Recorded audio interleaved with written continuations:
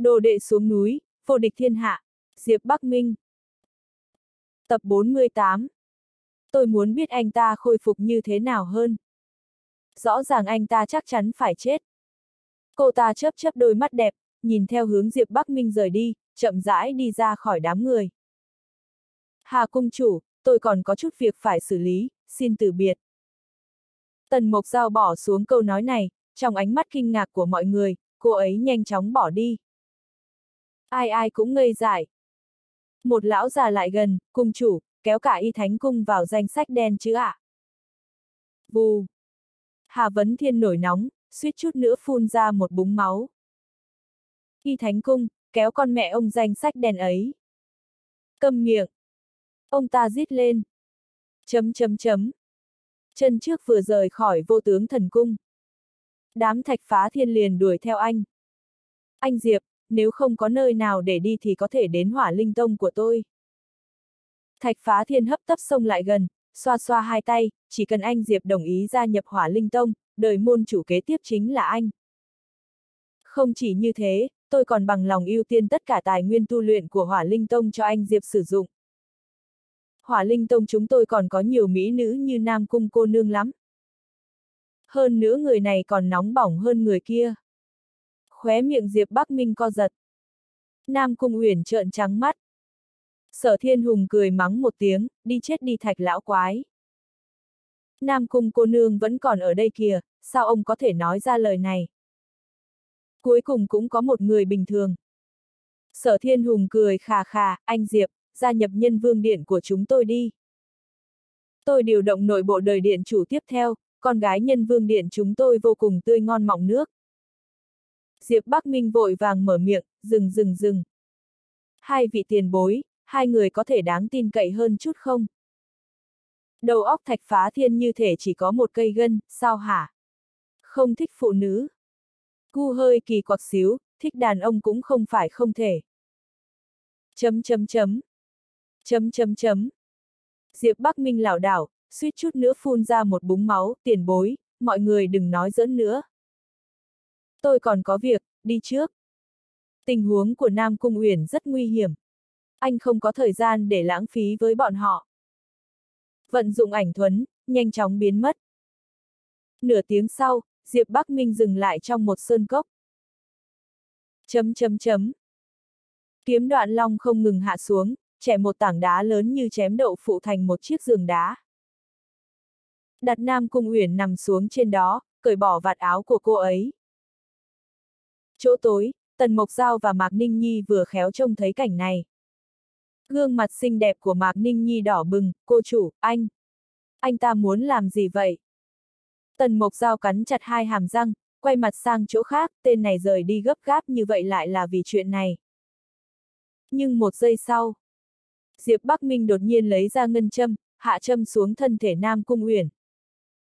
Đồng thời rót chân nguyên của mình vào trong đan điền của cô ấy. Hả, cứu người. Tần Mộc Giao và Mạc Ninh Nhi sửng sốt. Hóa ra là họ nghĩ sai. Diệp Bắc Minh hét lớn, ra đây. Hai người biết mình bị phát hiện, dứt khoát không giấu nữa, bước ra ngoài. Diệp Bắc Minh không ngừng hành động cứu người, vì sao các người đi theo tôi? Tần Mộc Giao đi tới, anh Diệp, anh biết vừa rồi mình đã làm sai bao nhiêu chuyện không? Ồ! Diệp Bắc Minh không hề quay đầu lại.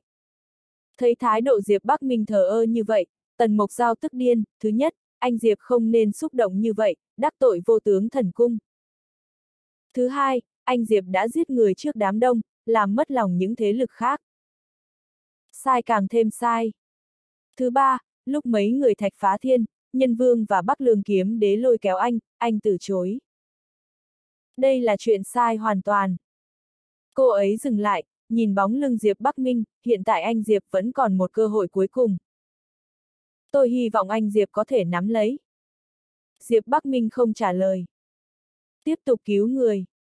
Tần Mộc Giao lắc đầu, anh Diệp, thái độ ngạo mạn này sẽ không mang lại bất kỳ lợi ích nào cho anh. Bây giờ, cơ hội duy nhất của anh chính là tìm kiếm sự che chở của Y Thánh Cung, anh đã mạo phạm tất cả thế lực rồi. Anh nghe cho rõ, kể cả nhà họ từ, Y Thánh Cung chúng tôi cũng có thể giải quyết cho anh. mà anh chỉ cần nói cho tôi hai chuyện. Đầu tiên, ai là người chữa khỏi nội thương cho anh? Thứ hai, anh học được quỷ môn thập tam châm của hoa tộc từ chỗ nào? Diệp Bắc Minh thản nhiên hỏi lại, cô nói xong rồi. Tôi cũng có hai thứ muốn nói cho cô, thứ nhất, chuyện của tôi chẳng liên quan gì đến cô, không phiền cô quan tâm. Thứ hai, tốt nhất là giờ các người lập tức rời khỏi đây, nếu không thì đi không nổi nữa đâu. Trong lòng Tần Mộc Giao dâng lên lửa giận, anh Diệp, anh như vậy không khỏi cũng quá. Diệp Bắc Minh lắc đầu, 10, 9, 8. Đôi mắt đông lại, một luồng sát ý mạnh mẽ ngưng tụ. 5, 4. Anh. Tần Mộc Giao biến sắc. Mạc Ninh Nhi kêu to, Diệp Bắc Minh, cô chủ nhà tôi có ý tốt nên mới suy nghĩ cho anh, anh muốn giết chúng tôi sao? 3, 2, 1. Chữ cuối cùng được nói xong. Các người không còn cơ hội đi nữa rồi. Một tiếng rồng ngâm vang lên, kiếm đoạn long chém về phía hai người. Một luồng sức mạnh cường đại cuốn qua người bọn họ, chém vào một vị trí ở phía sau. Dầm. Một tảng đá nổ tung, một lão giả mũi ưng đi ra từ phía sau, cười mờ ám, nhóc con, cảm giác nhạy bén thật đấy. Tần Mộc Giao và Mạc Ninh Nhi sửng sốt, lão sẽ không ra tay với chúng ta đó chứ. Diệp Bắc Minh không nhiều lời, đi ra hết đi, đừng ẩn nấp nữa. Giây tiếp theo. Từ bốn phương tám hướng, có mười mấy người đi ra ngoài, khí tức của ai cũng như vực sâu. Chí tôn. Gương mặt xinh đẹp của Mạc Ninh Nhi lập tức trắng bệch. Sốt cuộc Tần Mộc Giao cũng biết câu nói kia của Diệp Bắc Minh là có ý gì, các vị tiền bối, tôi là Tần Mộc Giao, là đệ tử của tuyệt trần y tiên. Anh Diệp là bạn của tôi, xin. Ông lão mũi ưng cười, nếu tuyệt trần y tiên có mặt, lão đây còn nể nang ông ấy mấy phần. Nhưng chắc con nhóc nhà cô không biết rồi, trong vòng ba dặm quanh đây không có một người sống. Nếu chúng tôi giết cô, tuyệt trần y tiên có biết được không? Một ông già gầy gò, cả người tràn đầy lệ khí cười nhạt, nói nhảm với bọn chúng làm gì, giết hết đi được rồi. Gương mặt tần mộc giao tái đi trong chớp mắt, cái gì, các người dám. Mạc Ninh Nhi sợ hãi run rẩy, cũng sắp khóc. Trông mấy lão già này không giống đùa giỡn. Cô chủ, phải làm sao đây? Mười mấy trí tôn. Tần Mộc Giao đỏ mắt, nhìn về phía Diệp Bắc Minh. Cô ấy suy nghĩ rồi đi đến gần Diệp Bắc Minh, đứng sau lưng anh, anh Diệp, vừa rồi là tôi không đúng. Xin anh Diệp đừng để ý mâu thuẫn lúc trước, cho chúng tôi một cơ hội. Co được giãn được, lại trực tiếp nhận sai. Diệp Bắc Minh hơi bất ngờ. Anh liếc qua Tần Mộc Giao và Mạc Ninh Nhi, lúc trước cô cứu tôi một lần, hôm nay tôi sẽ trả ân tình này cho cô. Chăm sóc Huyền Nhi giúp tôi. Cảm ơn anh Diệp. Tần Mộc Giao mừng rỡ. Đột nhiên, một giọng nói già nua vang lên, Diệp Bắc Minh, mày có biết lão đây là ai không? Đối phương cầm một cây thần kiếm màu đen, bên trên chạm khắc long văn, sát khí ngất trời. Diệp Bắc Minh lạnh nhạt đáp, người sắp chết, tôi còn phải biết tên ông nữa à? Ông già cười vì tức giận, sát khí sung thiên bộc phát ra từ cơ thể, ha ha ha. Hay cho một đứa con hoang. Nhánh của nhà họ Giang ở Đại Lục chân võ đã bị mày nhổ cỏ tận gốc rồi. Bây giờ mày còn nói năng ngông cuồng, lão đây là Giang Hải Sơn, hôm nay sẽ chém mày. Một lão già khác lạnh lùng mở miệng, Diệp Bắc Minh, lão đây là Lăng Chiến Thiên, đã biết thân phận của tao chưa? Còn các người thì sao? Anh chuyển mắt, nhìn sang những ông già còn lại. Ánh mắt tràn đầy tò mò. Mấy ông già còn lại đều sửng sốt. Phản ứng của thằng nhóc này không đúng. Sao lại cảm thấy nó không sợ chút nào vậy chứ? Ông già mũi ưng sầm mặt xuống, Diệp Bắc Minh, lão đây muốn biết bí mật của mày. Ông già gầy gò híp mắt lại, lão già kia, ông nói nhảm nhiều quá, trực tiếp ra tay đi, chặt đứt tay chân thằng nhãi này. Diệp Bắc Minh khẽ gật đầu, đích thực nhà họ Giang và nhà họ Lăng có thủ với tôi, tới giết tôi cũng dễ hiểu. Audio điện tử võ tấn bền. Sau đó hung hăng hành hạ nó, còn sợ nó không nói nữa à? Nhãi danh, biểu hiện của mày khiến lão đây rất không hài lòng. Mày nên sợ hãi, sau đó quỳ xuống xin tha mới đúng. Diệp Bắc Minh cười, người nên sợ hãi và cầu xin tha thứ là các người. Vù. Trong phút chốc, khí thức của Diệp Bắc Minh đột nhiên tăng vọt, anh lười lãng phí thời gian. Anh dậm chân, sát khí, huyết khí, ma khí sau lưng cao ngút trời. Điều khiến người ta sợ hơn là một con rồng đen, một con huyết long, một long hồn. Còn có một con kim long. Chúng đồng thời xuất hiện. Bốn loại dị tưởng. Sao có thể chứ? Ông lão gầy gò ngẩn người. Đồng tử của ông lão mũi ưng điên cuồng co lại. Giang Hải Sơn cứng ngắc tại chỗ. Lăng chiến thiên cảm thấy cả người lạnh như băng, bốn người bị bốn con rồng bao vây ngay lập tức, giống như rơi vào địa ngục cửu u. Kiếm chấn ngục, giết cho ta. Diệp Bắc Minh quát lên. Tần Mộc Giao và Mạc Ninh Nhi run rẩy. Họ gặp được một cảnh cả đời khó quên. Kiếm càn khôn chấn ngục phát ra tiếng, bốn con rồng bay ra gần như cùng lúc. Huyết long bao vây ông già mũi ưng. hắc long bao vây ông già gầy gò. Long hồn bao vây Giang Hải Sơn. Kim long bao vây lăng chiến thiên. Tần Mộc Giao run rẩy, lấy một địch bốn. Anh ấy muốn lấy một địch bốn sao? Anh ấy mới tới thánh cảnh thôi, lại muốn đồng thời đối phó với bốn trí tôn sao? Dù là Tần Mộc Giao cũng bối rối. Hai chân cô ấy như nhũn ra. Mặt Mạc Ninh Nhi trắng bệch, cô ấy không ngừng nuốt nước miếng, cô chủ, anh ta, so sánh anh ta và Lý Vân Phi, ai lợi hại hơn? Sắc mặt bốn người đều thay đổi, họ cảm nhận được sát ý lạnh lẽo trên người Diệp Bắc Minh. Lão già mũi ưng nổi giận gào lên, thằng chó, mày cho rằng mày có thể nghịch thiên à? Đồng thời đánh bốn người bọn tao. Đúng là không biết sống chết. Lão đây muốn giết mày là chuyện dễ như trở bàn tay, dùng một đầu ngón tay cũng có thể làm được. Mắt lão già gầy gò lạnh như băng, thằng nhãi, lão đây sẽ cho mày biết kết cục của việc khinh thường bọn tao. Mày thật khiến người ta bất ngờ, nhưng dù mày có bốn con rồng cũng không thể nào nghịch thiên được. Giết! Giang Hải Sơn và Lăng Chiến Thiên cùng phun ra một chữ.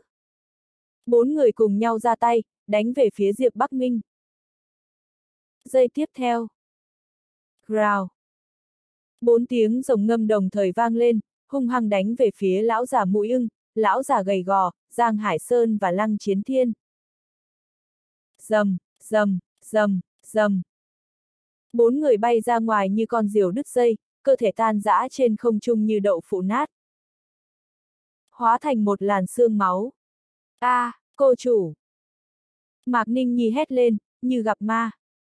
Tần Mộc Giao cũng lảo đảo sắp ngã, suýt chút nữa đã ngã nhào xuống đất. Hít! Bảy tám lão già còn lại hít một ngụm khí lạnh, cơ thể không nhịn được mà run rẩy.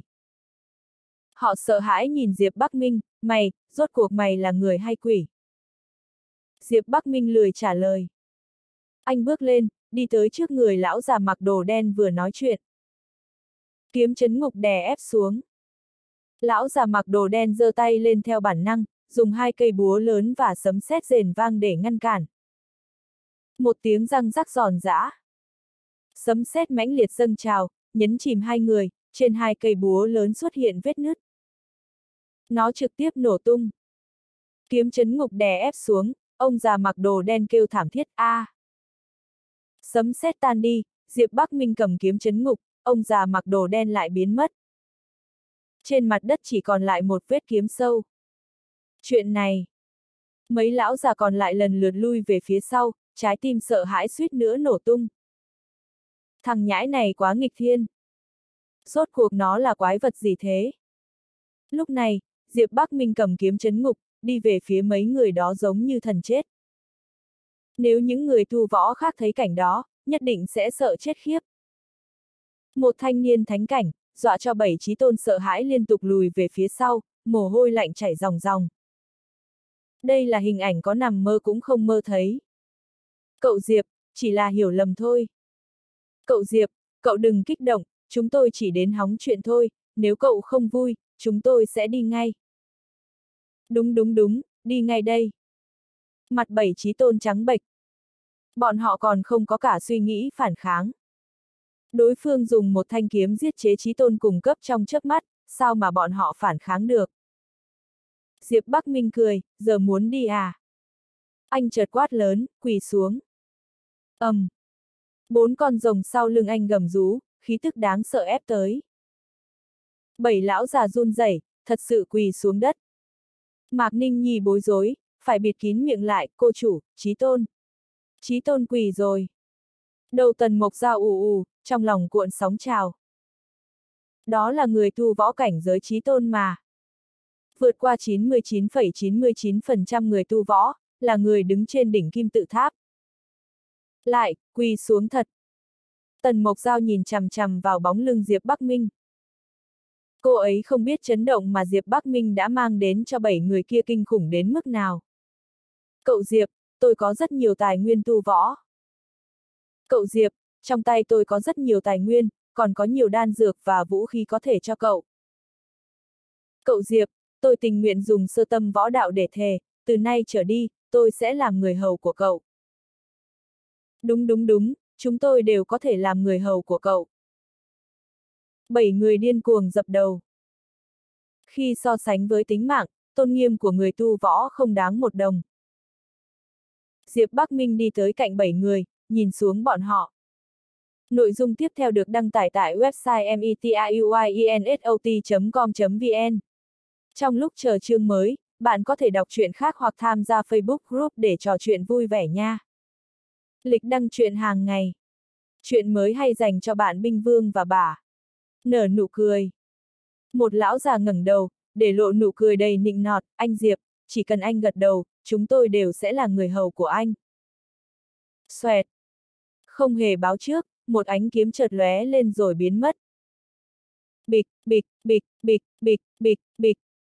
Bảy cái đầu rơi xuống mặt đất. Trợn to mắt.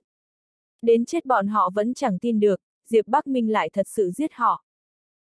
A, à, hai chân Mạc Ninh Nhi sụi lơ, ngã ngồi dưới đất. Đôi mắt đẹp trừng lớn, nhìn chằm chằm vào bảy đầu người kia. Tần Mộc Giao cũng suýt chút nữa té ngã. Bảy trí tôn bằng lòng thần phục, thế mà anh giết hết. Kẻ này sát phạt quá quả quyết. Diệp Bắc Minh khoát tay, 10 cái nhẫn chứa đổ rơi vào tay anh, lập tức bóp nát. Một số lượng lớn tài nguyên võ đạo rơi ra ngoài. Đan dược, vũ khí, công pháp, nguyên, dược liệu đủ thứ. Tiểu tháp, có thể cắn nuốt toàn bộ rồi đi. Tháp càn khôn chấn ngục kích động, được được, cuối cùng tên nhóc cậu cũng cho tôi chút lợi ích. Những kẻ địch lúc trước đều bị cậu đập thành bãi xương máu, nhẫn chứa vật cũng nát theo. Một luồng sức mạnh thần bí càn quét qua. Trong nháy mắt, tất cả tài nguyên biến mất. Dược liệu thì khô quát, mất dược hiệu. Còn đống vũ khí trở nên ảm đạm không ánh sáng, như thể vừa bị rút đi hồn phách. Xảy ra chuyện gì vậy? Tần Mộc Giao và Mạc Ninh Nhi kinh ngạc. Diệp Bắc Minh không xem phản ứng của hai cô nàng, quay về trước mặt Nam Cung Uyển. Ngân châm trong tay anh như có mắt, chui vào trong cơ thể Nam Cung Uyển. Một luồng sức mạnh dần ngưng tụ trong thân thể Nam Cung Uyển, trải qua gân mạch và nội tạng, chữa trị các vết thương. Bên kia, ánh mắt Tần Mộc Giao nhìn Diệp Bắc Minh hoàn toàn thay đổi. Nếu mình có loại thực lực này, hẳn cũng sẽ không cho vô tướng thần cung mặt mũi. Mạc Ninh Nhi nhìn nửa bên mặt Diệp Bắc Minh, cô chủ, anh Diệp rất đẹp trai đó. Tần Mộc Giao lắc đầu, đừng nói nữa, anh ta đang cứu người. Có điều, Nam Cung cô nương rất nguy hiểm, tôi ra tay cũng không chắc chắn. Có lẽ chỉ có sư phụ tuyệt trần y tiên của tôi mới có thể cứu cô ấy. Dưới sự điều trị của Diệp Bắc Minh. Một lát sau, sắc mặt Nam Cung Uyển dần dần khôi phục, từ vẻ trắng bệch ban đầu trở nên hồng hào. Hô hấp cũng nhẹ nhàng hơn. Sao có thể? Tiếp tục ủng hộ Metruin Hot ra thêm nhiều chuyện mới phục vụ các bạn nha.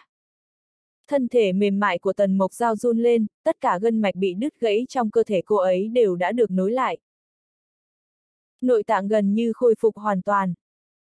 Dù là sư phụ tôi ra tay cũng không thể hồi phục nhanh như vậy. Tần mộc giao kinh ngạc thốt lên. Chờ chút đã. Đột nhiên, trái tim tần mộc giao khẽ co lại, chẳng lẽ. Đây chính là sức mạnh của quỷ môn thập tam châm của hoa tộc. 1, 2, 3, 11, 12, 13. 13 cái, suốt 13 cây ngân châm. Quỷ môn thập tam châm, ngân châm cứu người, kim châm đoạt mệnh. Vừa rồi, Nam Cung Uyển bỗng phun ra một ngụm máu tươi. Cô chủ, cô ấy sao rồi, Mạc Ninh Nhi giật nảy mình. Đôi mắt đẹp của Tần Mộc Giao nghiêm nghị, nguy rồi, dị hỏa phản phệ, không cứu nổi. Chấm chấm chấm. Chấm chấm chấm. Diệp Bắc Minh thầm kêu không tốt, Uyển Nhi. Lãnh hỏa huyền minh trong cơ thể Nam Cung Uyển bộc phát ra một luồng sức mạnh cực lạnh lẽo, lập tức khiến cô ấy đông thành băng. Khí lạnh kinh khủng ập tới, Tần Mộc Giao, Mạc Ninh Nhi nhanh chóng lui lại. Nhưng chậm nửa nhịp. Bên ngoài hai người một lớp băng trong chớp mắt, lạnh run cầm cập. ngẩng đầu nhìn lại, bọn họ không khỏi giật mình. Diệp Bắc Minh vẫn đứng tại chỗ, như không hề có việc gì. Tần Mộc Giao chấn động, hơi lạnh của lãnh hỏa huyền minh cũng không thể ảnh hưởng đến anh ta. Đồng thời, giọng nói của tháp càn khôn chấn ngục vang lên, nhóc, đây là phản vệ của lãnh hỏa huyền minh. Có vài phần ngoài ý muốn, máu thịt của cô ấy sẽ bị đông thành khối băng rồi chết. Diệp Bắc Minh nhìn chằm chằm Nam Cung Uyển đã đóng băng, tiểu tháp, có cách nào cứu cô ấy không? Tháp càn khôn chấn ngục suy tư, có, nhưng rất nguy hiểm. Diệp Bắc Minh nôn nóng hỏi, cách gì? Dùng phần thiên chi diễm của cậu. Tháp càn khôn chấn ngục trả lời. Ồ, tôi phải làm thế nào? Lãnh hỏa huyền minh đại diện cho cực lạnh, phần thiên chi diễm đại diện cho cực nóng. Tháp càn khôn chấn ngục nhanh chóng giải thích, hai loại lửa có thể triệt tiêu lẫn nhau. Cậu cần phải rót phần thiên chi diễm vào trong cơ thể Nam Cung Huyền, hóa giải tất cả lãnh hỏa huyền minh bên trong cô ấy. Nhưng mà... Giọng háp càn khôn chấn ngục ngưng trọng, nhóc, làm như vậy cực kỳ nguy hiểm. Lãnh hỏa huyền minh đã thông qua máu tiến vào từng ngõ ngách trong thân thể cô ấy. Cần cậu khống chế vô cùng chính xác, một khi phần thiên chi diễm vượt qua lãnh hỏa huyền minh, cả hai sẽ mất cân bằng. Nếu hai loại dị hỏa mất cân bằng bên trong thân thể cô ấy, e rằng cô ấy sẽ lập tức biến thành cho bụi. Sắc mặt Diệp Bắc Minh nghiêm túc. Đúng lúc này, máu Nam Cung Uyển đã bắt đầu đóng băng. Nếu còn tiếp tục nữa, chắc chắn sẽ phải chết không nghi ngờ. Không thể trì hoãn thêm. Một giây sau, Diệp Bắc Minh ra tay, dẫn động dị hỏa quyết. Một ngọn lửa hình giống hoa sen xuất hiện trong lòng bàn tay anh, đó chính là phần thiên chi diễm. Một luồng sức mạnh mang tính hủy diệt đánh úp lại. Khoảnh khắc trông thấy ngọn lửa này, đôi mắt đẹp của tần mộc giao kịch liệt co rụt lại, phần thiên chi diễm. Đây là phần thiên chi diễm. Làm sao có thể, anh đoạt được ngọn lửa này từ nơi nào? Mạc Ninh Nhi vui mừng, cái gì cơ? Cô chủ, đây là phần thiên chi diễm. Tốt quá rồi, phu nhân được cứu rồi. Tần Mộc Giao nhìn chằm chằm Diệp Bắc Minh, anh ta muốn làm gì? Cô ấy thấy phần thiên chi diễm khẽ run rẩy, sau đó tách thành trăm ngàn sợi mảnh. Sợi lửa nào cũng mảnh hơn cả cọng tóc, đồng thời chui vào trong cơ thể Nam Cung Huyền. Đây là... Tần Mộc Giao khiếp sợ, anh ta muốn dùng sức mạnh của phần thiên chi diễm để tiêu trừ lực lượng của lãnh hỏa huyền minh bên trong thân thể Nam Cung Huyền. Anh Diệp, không thể. Dị hỏa khó khống chế, anh làm vậy sẽ hại chết. Chưa kịp nói hết một câu. Cảnh tượng khó tin đột nhiên xuất hiện. Những nơi phần thiên chi diễm đi qua, phần thân thể bị đóng băng của Nam Cung Uyển dần khôi phục vẻ hồng hào. Sức mạnh của lãnh hỏa huyền minh đang biến mất. Sao có thể chứ? Tần Mộc Giao chấn động cực mạnh. Biện pháp này chẳng khác gì mở máy xúc trên đầu mũi châm. Có một chút sai lầm nhỏ sẽ không thể quay lại được. Chưa đến 10 giây sau. Một đóa hoa sen như được chạm khắc từ băng bay ra khỏi miệng Nam Cung Huyền. Nhiệt độ xung quanh lập tức giảm xuống mười mấy độ, mặt đất ngưng kết một tầng xương trắng dày đặc. Trong nháy mắt lãnh hỏa huyền minh rời khỏi thân thể Nam Cung uyển, nó liền lao về phía Diệp Bắc Minh, muốn cắn nuốt. Anh Diệp, cẩn thận! Tần Mộc Giao kêu to. Vù! Diệp Bắc Minh duỗi tay chộp lấy lãnh hỏa huyền minh, thế mà có thể nắm chặt ngọn lửa này. Trong chốc lát, Diệp Bắc Minh không nhìn được mà run cầm cập, như rơi vào hầm băng. Phần thiên chi diễm. Quát nhẹ một tiếng. Vù, vù. Hai ngọn lửa đồng thời thiêu đốt. Một cảnh tượng vô cùng kỳ lạ xuất hiện. Trên người Diệp Bắc Minh bốc cháy lên hai loại lửa một đỏ một xanh, hoàn toàn bao phủ anh. Trong nháy mắt, quần áo hóa thành cho bụi. Anh Diệp. Tần Mộc Giao và Mạc Ninh Nhi cực kỳ sợ hãi. Nhưng chỉ một giây sau, Diệp Bắc Minh quát lên một tiếng lớn, thu. Bù. Hai loại lửa một đỏ một xanh đồng thời dập tắt, ngưng tụ thành hai đóa hoa sen hoa sen giữa hai tay anh. Một tiếng hét vang lên. Á, à, hai cô gái che mắt, quay người, đưa lưng về phía Diệp Bắc Minh. Chấm chấm chấm. Cùng lúc đó, mấy ngàn mét ngoài xa. Lý Vân Phi nhìn chằm chằm một cái gương đồng cổ xưa, sắc mặt cực kỳ xuất sắc, phần thiên chi diễm, lãnh hỏa huyền minh. Tên này lại có được hai loại dị hỏa. Có được thực lực đủ để chém giết trí tôn, lại mang hai loại dị hỏa. Diệp Bắc Minh, cậu giấu giếm sâu thật đấy. Chấm chấm chấm. Thánh cảnh, ha ha, cậu cho rằng tôi sẽ tin tưởng đây là thực lực chân chính của cậu sao? Bù.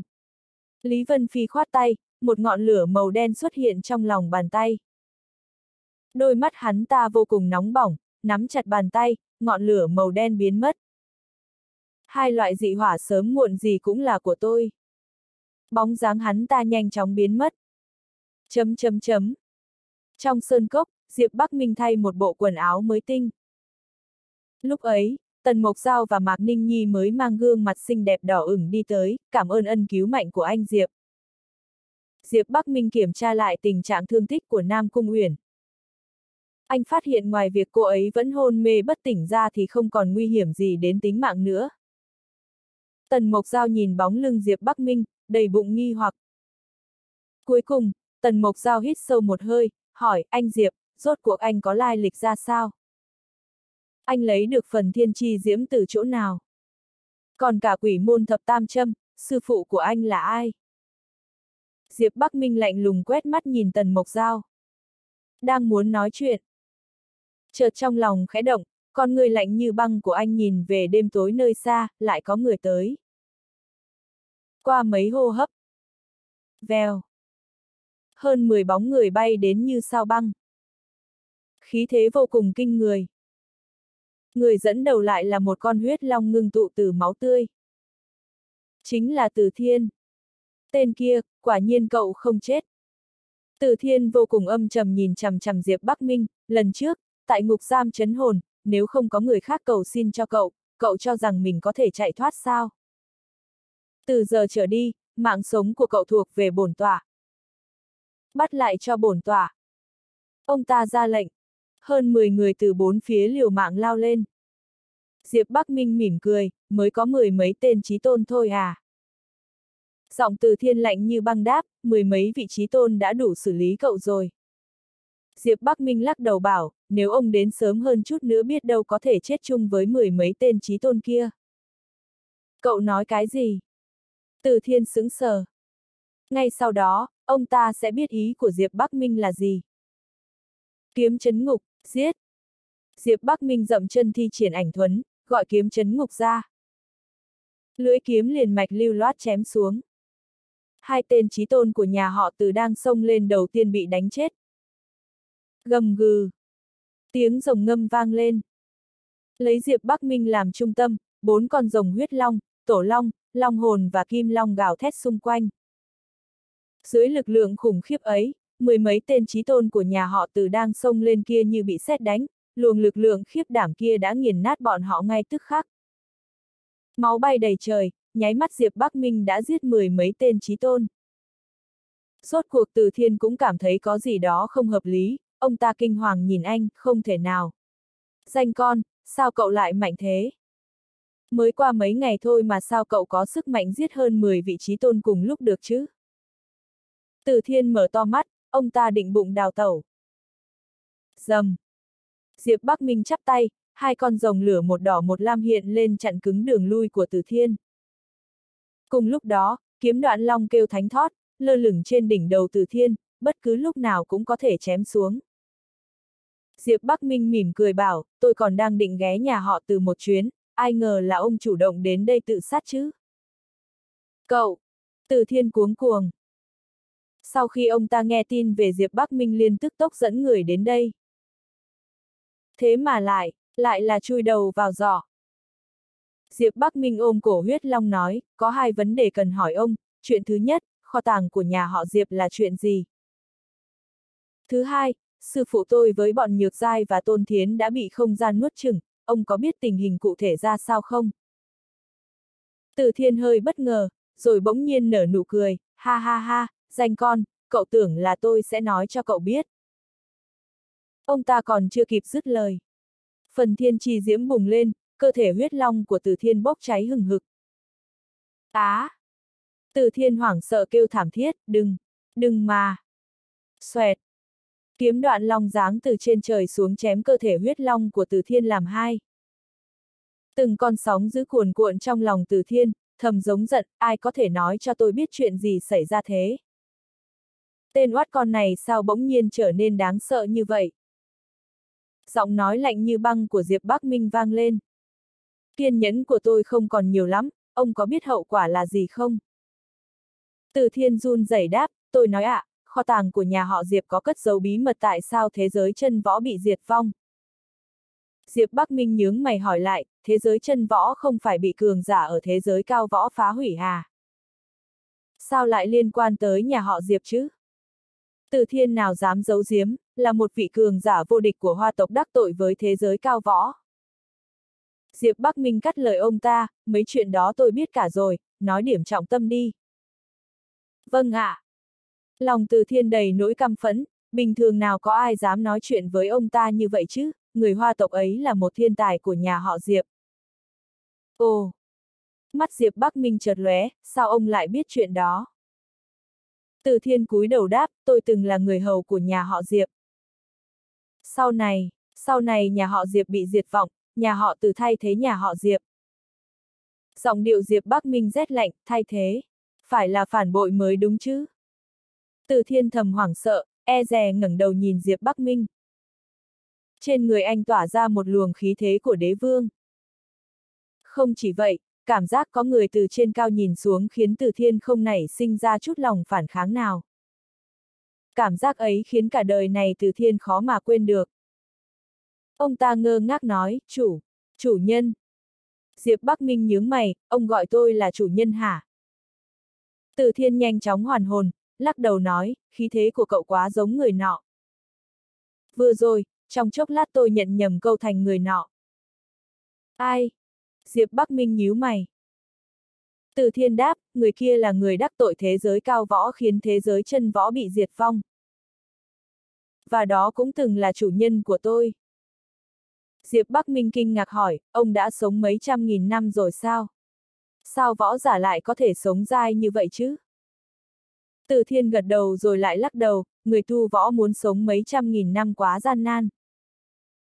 Trừ phi leo tới đỉnh cao của võ đạo, sở dĩ mấy người bọn tôi có thể sống tiếp là do chiếm được nửa quyển hóa long quyết từ chỗ chủ nhân. Diệp Bắc Minh bình thản hỏi tiếp, hóa long quyết của tộc rồng đen phải không? Từ thiên vô cùng kinh ngạc, cậu, sao cậu lại biết? Lẽ nào cậu là chuyển thế của chủ nhân thật sao? Đôi mắt ông ta co lại, hoảng sợ nhìn Diệp Bắc Minh.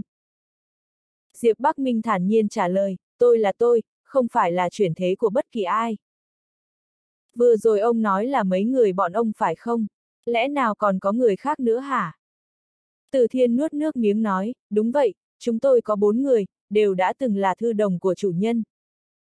Sau khi chủ nhân hy sinh, bọn tôi, bọn tôi đã thay thế chủ nhân. Còn đi vào kho tàng của nhà họ Diệp, có người tìm được một quyển hóa long quyết. Khi bọn tôi tranh giành với nhau đã làm mất nửa quyển. Thế nhưng sau đó, trong kho tàng bỗng nhiên bùng lên một luồng lực lượng kinh khủng đá văng tất cả chúng tôi ra ngoài. Mấy trăm nghìn năm qua, chúng tôi đều tu luyện nửa quyển hóa long quyết này nên mới biến thành bộ dạng huyết long. Nếu, nếu có thể vào kho tàng nhà họ Diệp lần nữa, chiếm được nửa quyển hóa long quyết cuối cùng. Từ thiên vô cùng kích động nói tiếp, chắc chắn chúng tôi có thể trở thành chân long. Diệp Bắc Minh khó hiểu bằng hỏi vấn đề khúc mắc trong lòng mình, các ông là con người, vậy cớ sao lại muốn biến thành long tộc? Từ thiên trầm mặc. Mãi một lúc lâu sau ông ta mới cam hận nói, bởi vì huyết mạch con người quá thấp hèn. Một khi tiến vào thế giới cao võ cũng sẽ trở thành chủng tộc hèn kém nhất. Diệp Bắc Minh bật cười, ông đang nói giỡn à. Nhân tộc là chủng tộc đứng đầu tất cả chủng tộc mà. Vậy mà ở trong miệng ông lại thành chủng tộc thấp hèn nhất sao? Từ thiên thông cảm nhìn Diệp Bắc Minh. Đúng vậy. Đó chính là thông cảm. Ông ta bật cười nói, ha ha ha ha, Diệp Bắc Minh, tuy rằng thiên phú của cậu rất nghịch thiên. Nhưng mà lão phu có chút thông cảm với cậu. Diệp Bắc Minh bóp chặt yết hầu từ thiên, ông vẫn nên cảm thông chính bản thân mình đi. Ha ha ha ha. Từ thiên cười gượng gạo, tuyệt vọng nói, Diệp Bắc Minh cậu có biết không? Nhân loại ở thế giới cao võ không giống với nhân loại ở thế giới chân võ. Da bọn họ trắng hơn chúng ta, máu bọn họ còn sạch hơn chúng ta nữa. Đến cả thiên phú tập võ của bọn họ cũng mạnh mẽ hơn chúng ta. Ở thế giới cao võ, người tu võ như tôi chẳng đáng vào đâu. Chúng tôi chỉ là những kẻ tồn tại ở tầng chót xã hội mà thôi. Ông ta mỉm cười tự giễu nói tiếp, mà rồng lại là thần thú thượng cổ. Tôi chỉ có cách biến thành long tộc mới có chút danh dự đáng thương trước mặt bọn họ. Diệp Bắc Minh khinh khỉnh nói, đời người không có phân chia cao thấp càng không có phân chia dòng máu thuần khiết hay không. Chính bản thân ông tự khinh thường chính mình, vậy thì ở thế giới cao võ ai coi trọng ông chứ? Nếu một ngày nào đó Diệp Bắc Minh tôi đến thế giới cao võ, biết đâu bọn họ còn quỳ xuống thưa gọi tôi đấy. Mỗi một từ thốt ra từ miệng anh đều đầy khí phách. Vào giờ phút ấy, cả sơn cốc lặng thinh. Như cả trời đất giờ chỉ có mình Diệp Bắc Minh sừng sững đứng đó. Luồng khí thế đế vương hùng hậu vững chãi kia quét tới. Mạc Ninh Nhi chống cằm nói, cô chủ, tuy rằng em không hiểu lời cậu ta nói có ý gì cả nhưng mà trông cậu ta đẹp trai quá đi mất. Từ thiên sững sờ, cậu nói cái gì? Lẽ nào có một ngày nào đó người này sẽ cá chép hóa rồng bay lên trời cao thật sao? Lười nói nhảm với ông nữa, làm cách nào mới có thể mở bảo tàng nhà họ Diệp ra? Từ thiên nuốt nước miếng đáp, có hai cách. Cách thứ nhất là chỉ cần người được tổ tiên nhà họ Diệp tán thành tìm được cửa vào kho tàng thì sẽ có cơ hội mở nó ra. Cách thứ hai là dùng máu tươi tế sống người nhà họ Diệp cũng có thể mở cửa kho tàng đó ra. Diệp Bắc Minh lạnh lùng gật đầu, vấn đề thứ hai của tôi thì sao, sư phụ tôi với bọn Nhược Giai và Tôn Thiến bị hút vào khe nứt không gian. Dựa vào cảm giác của ông thì ông có biết bọn họ bị hút đến đâu không? Từ thiên chợt mỉm cười đáp, Diệp Bắc Minh, tôi sẽ giải đáp cho cậu nhưng cậu phải thề thả lão phu ra. Diệp Bắc Minh bóp mạnh tay hơn. Răng rắc.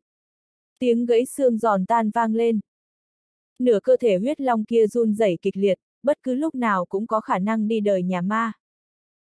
Từ thiên sợ mất hồn mất vía, tôi nói, ở Ma Huyên. Ma Huyên. Ánh mắt Diệp Bắc Minh trầm ngâm. Hình như nơi bố anh mất tích có liên quan tới chỗ này. Hô hấp anh dồn dập, một luồng khí thức hùng mạnh đầy áp lực bùng lên, rốt cuộc đã có chuyện gì xảy ra. Từ thiên gắng gượng trả lời, giáo phụ cưỡng chế sử dụng sức mạnh của cảnh giới thần đế ở đại lục chân võ dẫn tới công kích của sức mạnh pháp tắc. Có lẽ không gian tan vỡ đúng lúc tiếp nối với Mạ Uyên nên bọn họ đã bị hút vào đó. Diệp Bắc Minh trầm ngâm, Mạ Uyên. Từ thiên ngẩng đầu, lén liếc nhìn Diệp Bắc Minh. Sâu trong đôi mắt ông ta thoáng hiện một tia sáng rét lạnh. Bỗng nhiên. Ông ta giận dữ gầm lên, bọn bây còn chờ gì nữa. Tranh thủ ngay lúc này giết cậu ta đi. Dầm, dầm, dầm. Ba con huyết long hung tợn lao nhanh xuống như thiên thạch va vào trái đất. Diệp Bắc Minh nắm chặt tay, kiếm chấn ngục xuất hiện trong lòng bàn tay anh, tôi linh cảm các người tới rồi. Anh chém ra một kiếm. Luồng kiếm khí khủng khiếp lan ra khắp nơi, lực lượng hủy diệt nghiền nát mọi thứ bùng nổ. Vào giờ phút ấy, từ trên bầu trời nhìn xuống mặt đất chỉ thấy một đám mây hình nấm đỏ thẫm như máu nổ tung. Sau khi khói bụi tàn bớt, Diệp Bắc Minh vẫn đứng im ở đó. Xung quanh Diệp Bắc Minh hơn 30 mét đều bị sang bằng chỉ còn lại mình anh trơ trọi đứng đó. Từ thiên hoảng hốt nhìn anh nói, cậu, cậu, cậu là chuyển thế của người kia thật sao? Diệp Bắc Minh không trả lời ông ta mà bước tới trước, kiếm chấn ngục chém tới. Đừng mà! Từ thiên run rẩy, con người phản chiếu hình bóng của kiếm chấn ngục. Phụt. Máu tươi tung bay. Thần hồn của từ thiên sụp đổ. Tháp nhỏ, nuốt chửng ông ta đi. Một luồng lực lượng trào ra từ tháp càn khôn chấn ngục hấp thu hết sạch đám máu thịt đó. Cùng lúc ấy, nhà họ từ, sâu bên trong 99 ngọn núi rồng. Dầm dầm dầm. Ba hư ảnh huyết long trợn tròn, sâu trong ánh mắt chúng hiện lên một sự khó tin. Con huyết long thứ nhất kinh hoàng nói, tên này lại có thể chặn đứng đòn tấn công của cả ba người chúng ta ư. Sắc mặt con huyết long khác cũng không khá hơn là bao, lẽ nào cậu ta chính là chuyển thế của người kia à? Mặc kệ có phải hay không thì người này đều phải chết. Giọng nói của ba con huyết long chu chéo như tiếng gọi từ địa ngục, sự tồn tại của cậu ta đã là mối đe dọa với chúng ta rồi. Lão Phu không đời nào cho phép một kẻ như vậy sống sót. Chấm chấm chấm. Diệp Bắc Minh nhíu mày, thì thào thầm nói, Mạo Uyên, ở đâu đây? Bỗng nhiên. Bên tai anh vang lên một giọng nói hơi run, anh Diệp, tôi biết Mạo Uyên ở đâu. Tần Mộc Giao và Mạc Ninh Nhi đều chố mắt nhìn. Một kiếm kia vừa rồi đúng là sức mạnh do con người chém ra ư. Cô biết à? Diệp Bắc Minh lập tức quay đầu lại, kinh ngạc nhìn Tần Mộc Giao. Lẽ nào anh đánh phá như vậy rồi mà lại không biết sao? Tần Mộc Giao hít một hơi thật sâu, ngực phập phồng lên xuống kịch liệt, anh Diệp, không chỉ có tôi biết. Mà tất cả người tu võ ở đại lục thượng cổ đều biết vị trí của Ma Uyên. Nhưng mà không chắc anh sẽ tìm được Ma Uyên. Diệp Bắc Minh nhíu mày hỏi, cô có ý gì? Tần Mộc Giao giải thích, Ma Uyên là một nơi tồn tại rất đặc biệt, nó tồn tại ở trạng thái vỡ vụn ở xung quanh đại lục chân võ và đại lục thượng cổ. Có tỷ lệ nhất định sẽ bỗng nhiên xuất hiện ở nơi nào đó trên đại lục. Cô ấy liếc nhìn Diệp Bắc Minh rồi nói tiếp, rất nhiều lần có người nhìn thấy người tu võ bị hút vào Ma Uyên. Diệp Bắc Minh nhíu chặt mày, người bị hút vào Ma Uyên có cơ hội sống sót hay không? Tần Mộc Giao mỉm cười đáp, anh Diệp cứ yên tâm, tuy rằng Ma Uyên rất hung hiểm.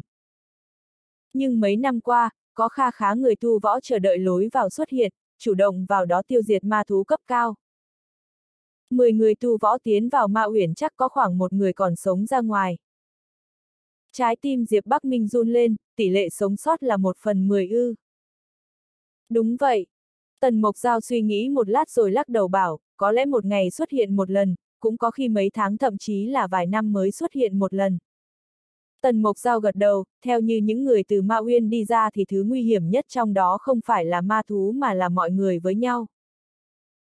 Sắc mặt Diệp Bắc Minh tối sầm xuống. Có giáo phụ sư phụ ở đó, chắc hẳn Nhược Giai và Tôn Thiến sẽ an toàn thôi. Nhưng anh không dám chắc trăm phần trăm cả hai đều an toàn. Và lại, dường như bố của mình cũng có liên quan gì đó tới Ma Uyên. Diệp Bắc Minh quyết định gạt hết mọi chuyện sau này sang một bên, cách bao lâu Ma Uyên xuất hiện một lần. Tần Mộc Giao suy nghĩ một lát rồi lắc đầu bảo, có lẽ một ngày xuất hiện một lần, cũng có khi mấy tháng thậm chí là vài năm mới xuất hiện một lần. Tôi có một người bạn ở thiên cơ các rất tinh thông biến hóa vạn vật. Rất nhiều người tu võ muốn tiến vào Ma Uyên đều tìm đến sự giúp đỡ của thiên cơ các. Tôi có thể hỏi giúp anh Diệp. Diệp Bắc Minh nhìn Tần Mộc Giao, đổi lại cô cần tôi giúp cái gì? Tần Mộc Giao hít thật sâu, rồi nhìn thẳng vào mắt Diệp Bắc Minh nói, tôi muốn hỏi mượn phần thiên trì diễm của anh Diệp dùng một chút. Được thôi. Diệp Bắc Minh đồng ý một cách dứt khoát. Nam Cung Uyển vẫn đang hôn mê sâu, khí huyết của cô ấy đã tiêu hao quá độ. Tạm thời anh không thể bỏ mặc cô ấy được.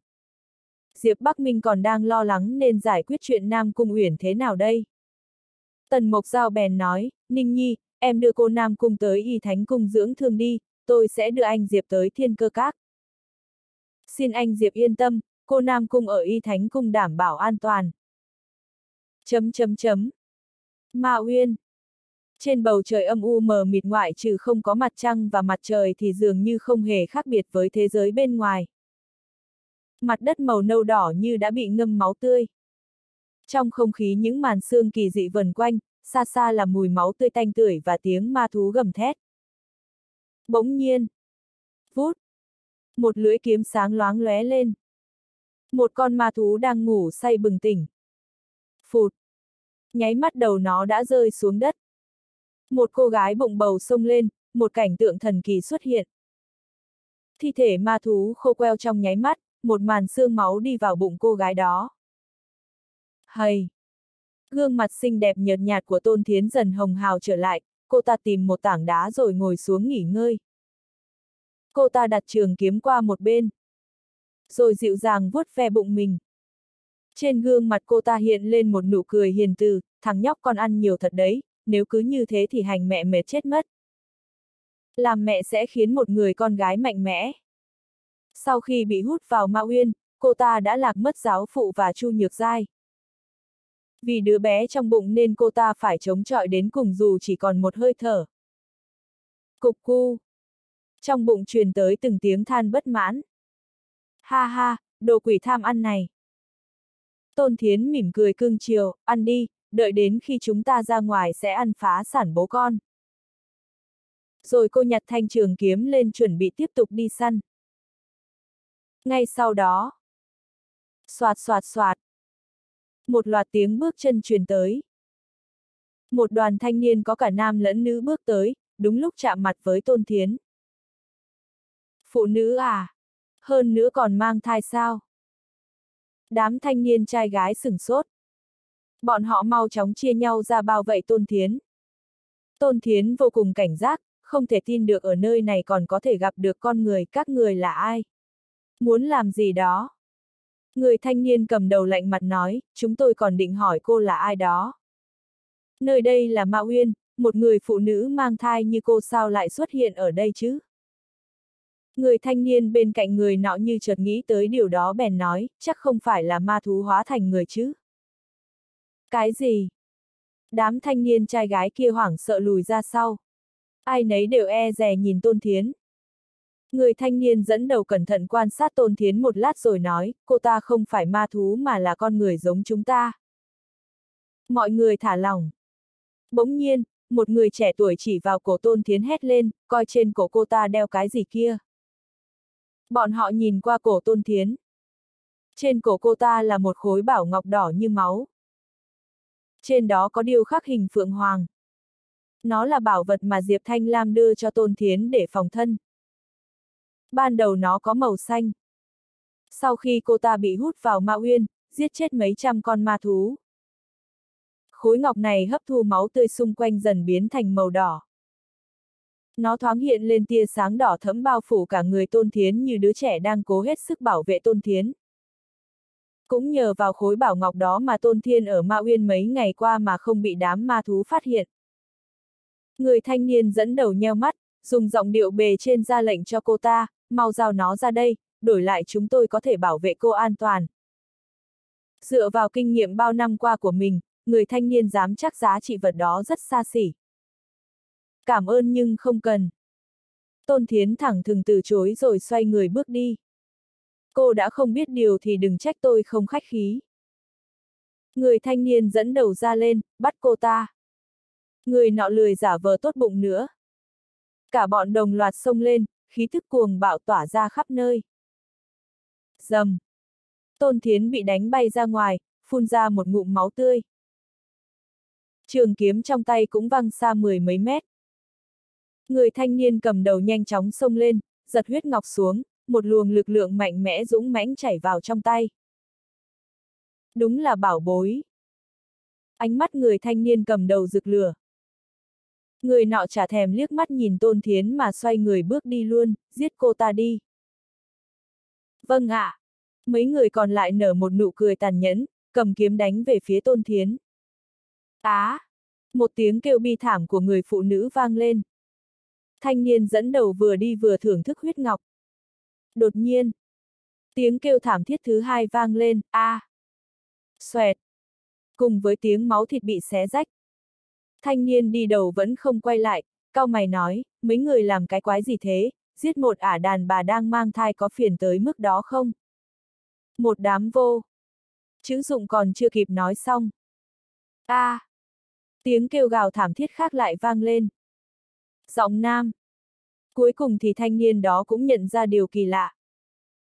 Quay đầu nhìn, động từ nhanh chóng co rụt lại, như thể vừa nhìn thấy chuyện gì đó cực kỳ khủng bố, không, a. À. Tiếng kêu thảm thiết vang lên.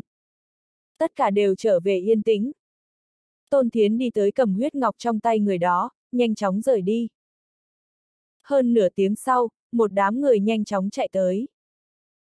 Hiện trường đâu đâu cũng là mảnh tay cụt chân cụt, cực kỳ máu me. Ánh mắt một người đàn ông trung niên trong số đó bỗng có rụt lại, dừng trên một cái xác. Con tôi. Nhanh chóng đi tới ôm lấy đầu của thi thể thanh niên kia, không. Thanh niên đi đầu đã mất nửa khuôn mặt, như vừa bị thứ gì đó cực kỳ đáng sợ xé mất. Một ông lão đi tới, chủ nhân, toàn quân bị diệt, hơn nữa còn bị giết rất thê thảm. Tàn nhẫn đến mức này, có lẽ là gặp phải ma thú tấn công. Nhưng, ánh mắt người đàn ông trung niên nọ đỏ bừng, nhưng cái gì? Ông lão thoáng do dự một lát, giơ một cánh tay cụt lên, chủ nhân, mời xem. Ông lão chỉ vào một chỗ, ở đây có một vết cào, có thể thấy không phải là do ma thú gây ra.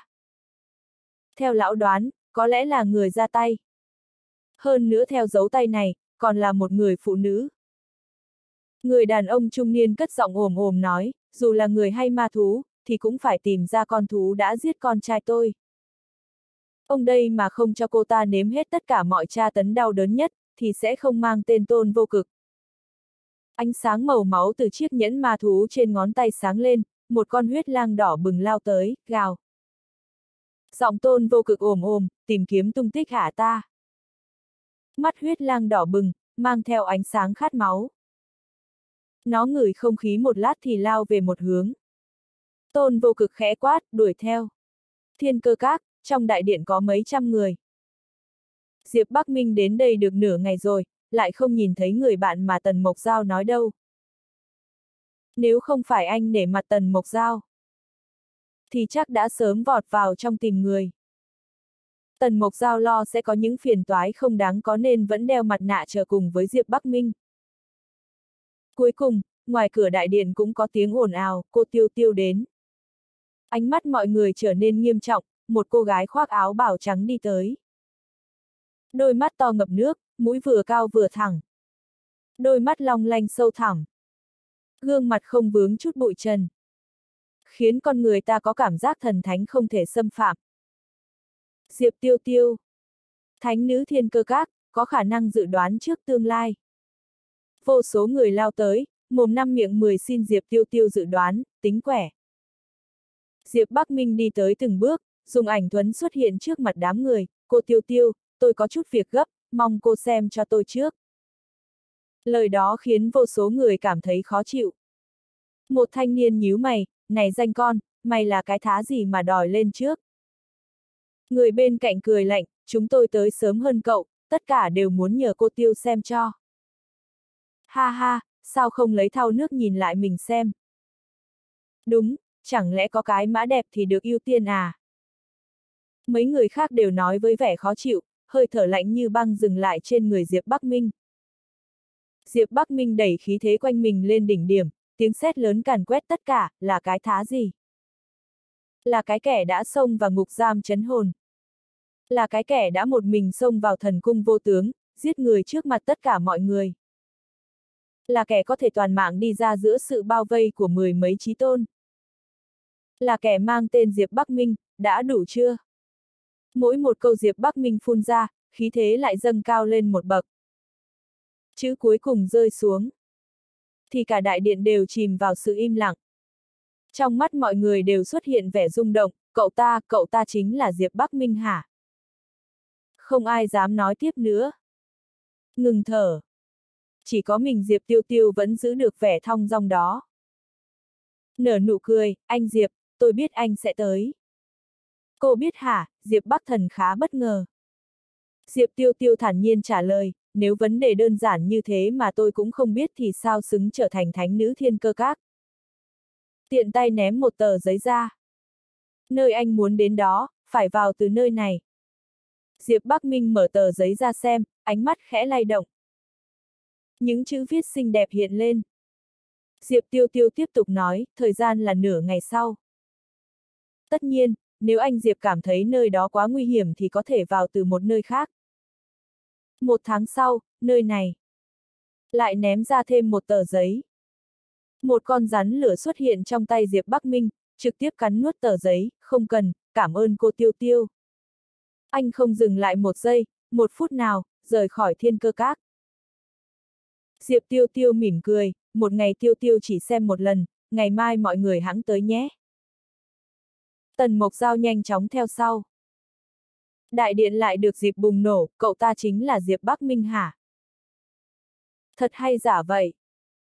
Cậu ta chính là Diệp Bắc Minh đã đánh vào ngục giam chấn hồn ấy hả? Cậu ta nói mình từng chém giết trí tôn ư.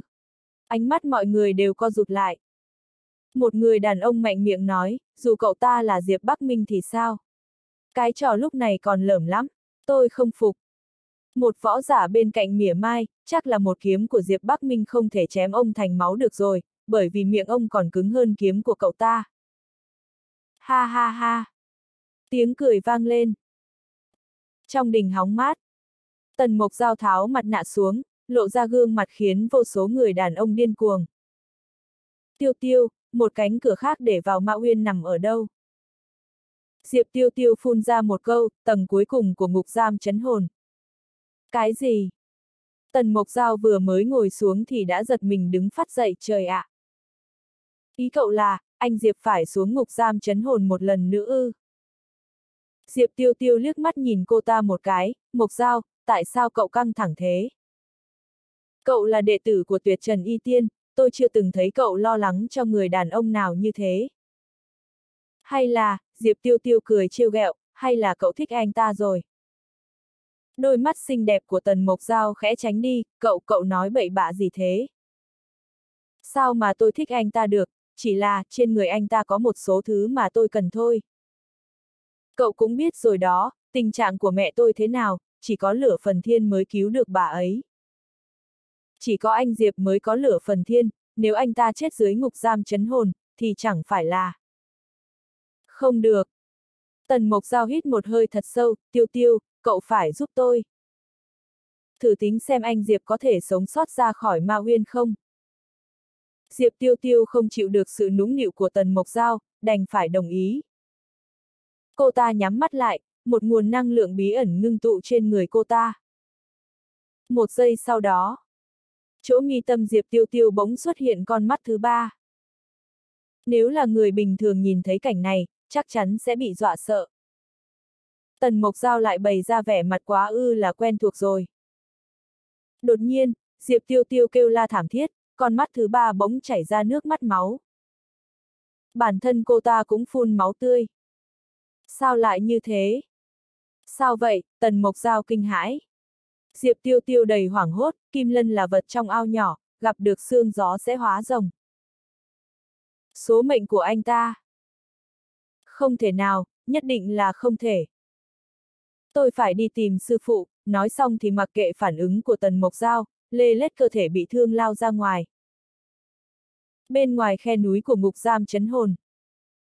Này nhóc, cậu có chắc không? Tuy trong cơ thể cậu có long mạch, có thể dùng kiếm chấn ngục vô số lần, nhưng điều đó không có nghĩa là cậu bất tử. Bản tháp đã cảm nhận được, nhà họ từ không hề đơn giản như vẻ ngoài. Giọng tháp càn khôn chấn ngục vô cùng nặng nề, ba người kia còn khủng bố hơn từ thiên rất nhiều. Cậu không cần phải mạo hiểm như thế, hoàn toàn có thể chờ Mạo Uyên tiếp theo xuất hiện. Diệp Bắc Minh cười, tháp nhỏ, ông không biết tính tôi hả? Tháp càn khôn chấn ngục im lặng. Một lát sau, ông ta thoải mái cười, hiểu rồi. Thế thì xông lên đi, nếu bản tháp đã chọn cậu, thì hôm nay cũng sẽ liều mạng đâm lao theo lao. Diệp Bắc Minh đi từng bước, tiến vào khe núi. Bên ngoài ngục giam chấn hồn, rất nhiều người nhà họ từ đang tiến hành tu sửa. Lần trước Diệp Bắc Minh xông vào ngục giam chấn hồn đã khiến khá nhiều trận pháp bị hư tổn. Bọn họ phải sửa lại. Gào. Đột nhiên, tiếng rồng ngâm vang lên. Con huyết long từ trên trời giáng xuống, lao vào trong đám đông. Mấy trăm người nhanh chóng biến thành mây máu. Ai? Một đám người nhảy ra, mặt đầy tức giận nhìn chằm chằm sương mù dày đặc trước cửa ngục giam chấn hồn, đây là ngục giam chấn hồn của nhà họ Trần, ai dám diễu võ dương oai ở đây. Cút ra đây. Một giây sau đó, một thanh niên cầm thanh kiếm có phủ điêu long văn đi tới.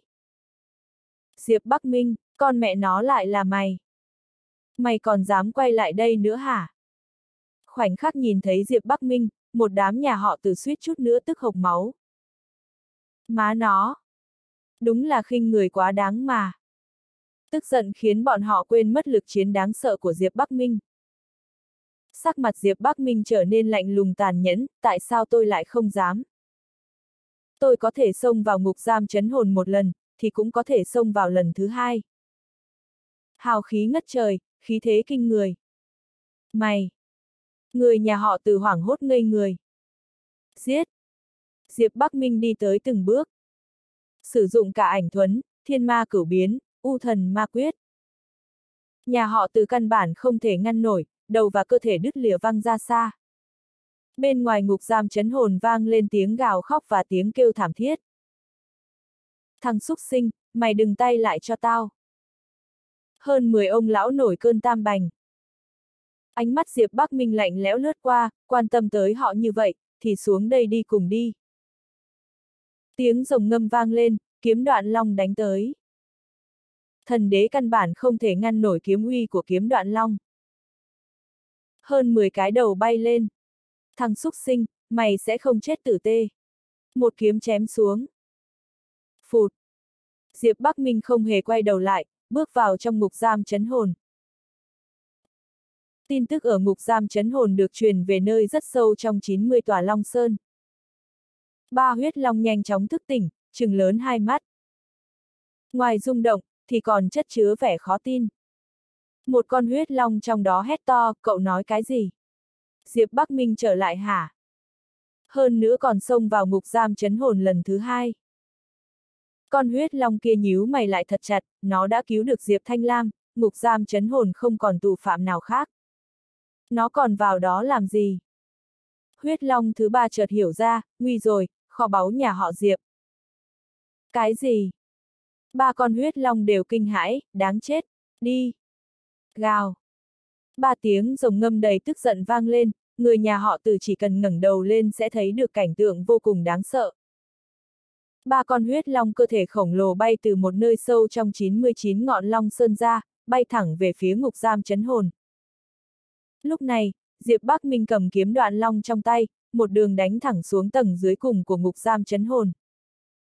Anh như ác ma chuyển thế, căn bản không có người nào đỡ nổi một kiếm của anh. Từng tầng đánh xuống. Dưới chân máu đã chảy thành sông. Chỉ dùng đúng 15 phút, Diệp Bắc Minh đã xuống tới tầng dưới cùng của ngục giam chấn hồn. Giọng nói kinh ngạc bỗng vang lên bên tai anh, này nhóc, cậu quay lại đấy hả? Cái gì, vết thương của cậu đã khỏi rồi á? Diệp Bắc Minh nhìn về phía giọng nói đó. Phát hiện nơi góc nhà có một ông già lôi thôi đang bị giam giữ. Mái tóc rối bời như rơm dạ che giấu đôi mắt đầy kinh ngạc.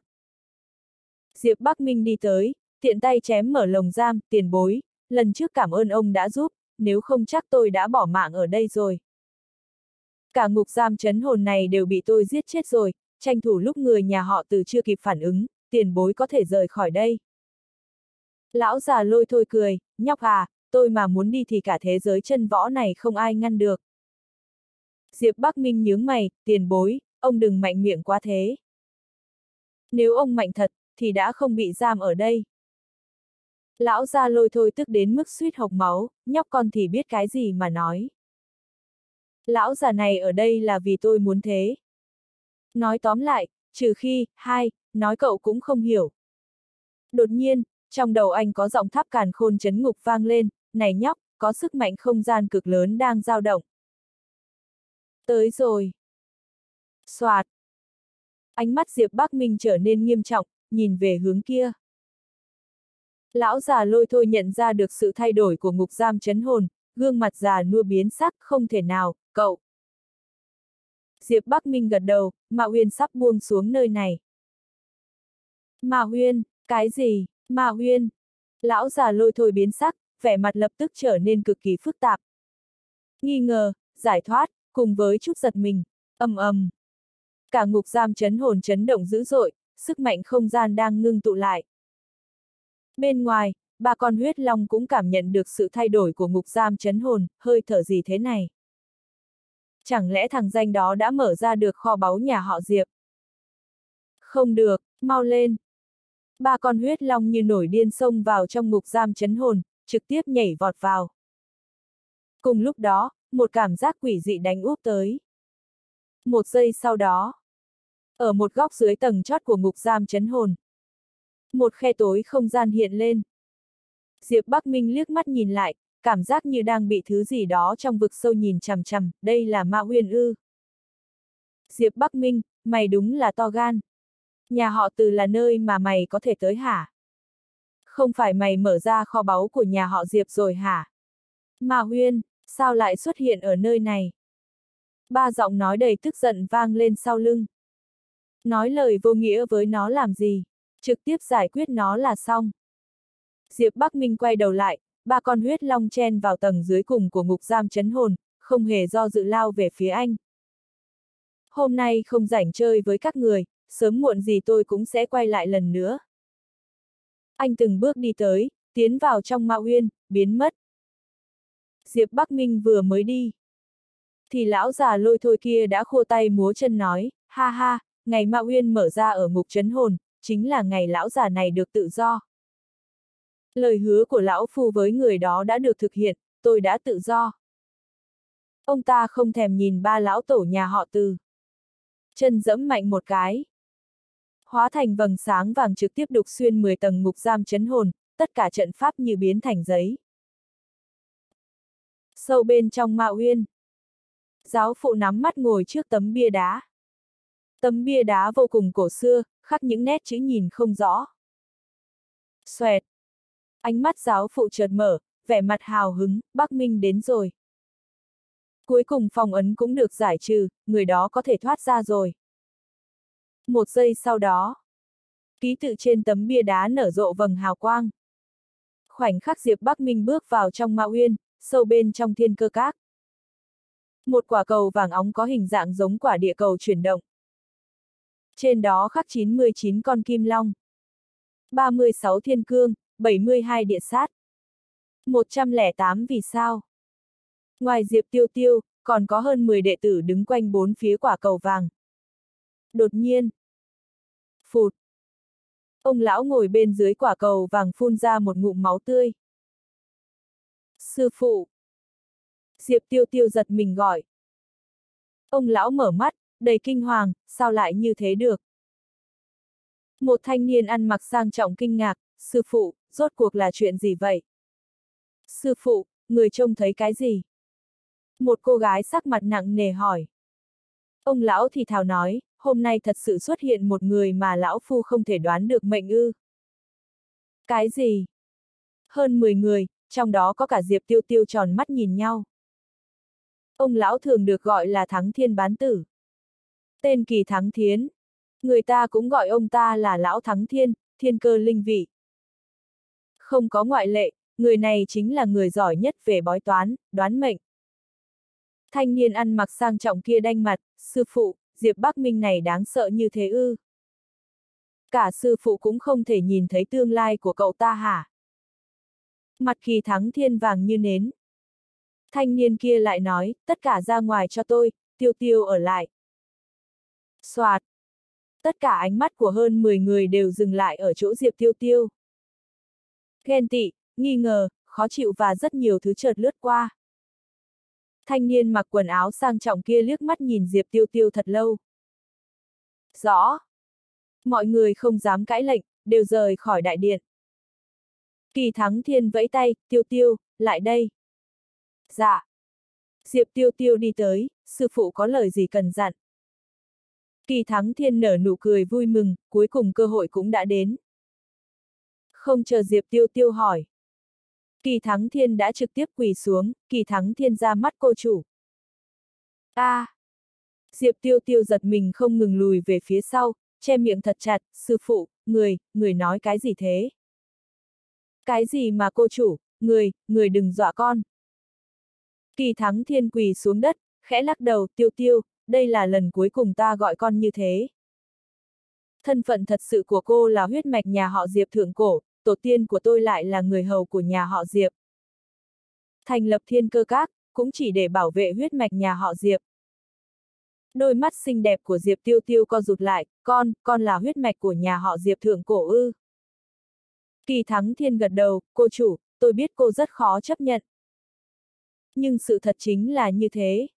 Đây là lệnh bài của chủ nhân nhà họ Diệp, có nó cô sẽ mở được cổng kho tàng nhà họ Diệp, có được tất cả những gì tổ tiên để lại. Nói xong, ông ta lấy ra một lệnh bài hình rồng màu vàng. Trên đó là một chữ Diệp cổ xưa. Diệp tiêu tiêu há hốc miệng, chẳng nói được một lời nào. Ánh mắt kỳ thắng thiên trở nên nghiêm túc, cô chủ, những lời tôi chuẩn bị nói sẽ cực kỳ quan trọng. Ngoài kia đồn rằng, tổ tiên nhà họ Diệp đắc tội với người của thế giới cao võ, nên mới bị diệt tộc. Nhưng sự thật không phải như thế, mà là nhà họ Diệp có được thứ mà tất cả thế lực của thế giới cao võ đều thèm muốn. Thứ đó, được phong ấn bên trong kho tàng nhà họ Diệp. Chỉ cần cô chủ có thể bắt tay với một người mà tổ tiên gọi là kẻ không có số mệnh thì có nhà họ Diệp sẽ trở lại thời kỳ huy hoàng nhất. Hôm nay, kẻ không có số mệnh mà tổ tiên nhà họ Diệp nói đã xuất hiện. Vẻ mặt Diệp tiêu tiêu đầy rung động, kẻ không có số mệnh. Không thể đoán mệnh, chờ đã. Sư phụ, ý người là Diệp Bắc Minh. Kỳ Thắng Thiên mỉm cười, khóe miệng tràn ra máu tươi, đúng vậy. Diệp Tiêu Tiêu sợ hãi, sư phụ, người bị sao thế? Vẻ mặt Kỳ Thắng Thiên như được giải thoát, thiên đạo 50, đại diễn 49, người là một. Sư phụ được người đời gọi là Thắng Thiên Bán Tử, phải trả giá bằng số tuổi thọ còn lại của mình, để dự đoán được một nửa của phần người đó. Một nửa còn lại, phải dựa vào tất cả mọi người. Ông ta lấy ra thiên cơ lệnh, cô chủ, từ ngày hôm nay cô chính là chủ nhân của thiên cơ các. Nhà họ Kỳ từng nhận được ân huệ của tổ tiên nhà họ Diệp, cuối cùng hôm nay cũng đã trả được. Dứt lời, ánh mắt Kỳ Thắng Thiên trở nên u ám, hoàn toàn mất đi hơi thở. Diệp Tiêu Tiêu cầm thiên cơ lệnh, đau khổ hét lên, sư phụ. ầm ầm. Khoảnh khắc Kỳ Thắng Thiên qua đời, hồn đăng bên ngoài đại điện cũng tắt ngóm. Sư phụ mất rồi. Sao lại như thế? Đồng tử tất cả đệ tử đứng bên ngoài đều co rụt lại. Phá cửa vọt vào. Đúng lúc trông thấy thi thể kỳ thắng thiên khóa thành một làn xương khói bay đi, nhanh chóng biến mất. Diệp tiêu tiêu quỳ dưới mặt đất, nắm chặt lấy thiên cơ lệnh. Sư phụ! Là thiên cơ lệnh. Con người bọn họ lại co rụt. Mắt thanh niên mặc quần áo sang trọng kia đỏ như chảy ra máu, thiên cơ lệnh là tín vật của chủ nhân thiên cơ các, không truyền cho người ngoài. Bấy giờ, lại nằm trong tay Diệp Tiêu Tiêu. Diệp Tiêu Tiêu, cô đúng là to gan. Thanh niên đó hét to, lại dám giết hại sư phụ, cướp đoạt thiên cơ lệnh. Cái gì? Mọi người tái mặt. Diệp Tiêu Tiêu vội vàng lắc đầu, Vương Sư Huynh, tôi không có. Là sư phụ dồn hết tính mạng của mình để đoán mệnh nên mới. Vương Văn Quân hét lớn một tiếng, trực tiếp ngắt lời, câm miệng cho tôi. Khả năng đoán mệnh nhìn tương lai của sư phụ là vô địch thiên hạ, ai mà lại khiến ông ta phai hao tổn hết sinh mệnh để xem. Rõ ràng là cô vì thiên cơ lệnh nên mới tàn nhẫn giết hại sư phụ. Diệp tiêu tiêu nóng nảy, tôi không có, mọi người nghe tôi giải thích. Ánh mắt Phương Văn Quân lạnh như băng, từng bước đi tới trước mặt Diệp tiêu tiêu, một trưởng đánh ra. Diệp tiêu tiêu như lá thu dụng vang ra xa, phun một ngụm máu tươi. Vương sư huynh, anh hiểu lầm rồi. Mặt Diệp tiêu tiêu tát nhợt, trước khi qua đời sư phụ đã giao thiên cơ lệnh cho tôi, bảo tôi trở thành chủ nhân thiên cơ các. Lời đó vừa dứt, mọi người đều ồ lên. Mắt Vương Văn Quân đỏ bừng, như một con thú hoang đang nổi điên, ăn nói hàm hồ. Cô nhập môn trễ nhất, tại sao có thể trở thành thánh nữ thiên cơ các? Bởi vì sư phụ muốn cảm hóa yêu như như cô thôi, cô căn bản không phải con người. Lời vừa nói ra, tất cả mọi người đều ngây người. Vương Sư Huynh, nói thế là sao? Trong ánh mắt khó hiểu của tất cả mọi người, hai ngón tay Vương Văn Quân đâm vào chán Diệp Tiêu Tiêu. A! À, Diệp tiêu tiêu kêu thảm một tiếng. Con mắt thứ ba xuất hiện giữa mi tâm, chảy ra máu tươi. Đây là... Hít. Mọi người hít sâu một hơi, sao lại như thế? Mặt Vương Văn Quân đầy giận dữ, mọi người đã nhìn thấy chưa? Diệp Tiêu Tiêu căn bản là ma tộc. Giống với tên Diệp Bắc Minh kia, hoàn toàn không phải người.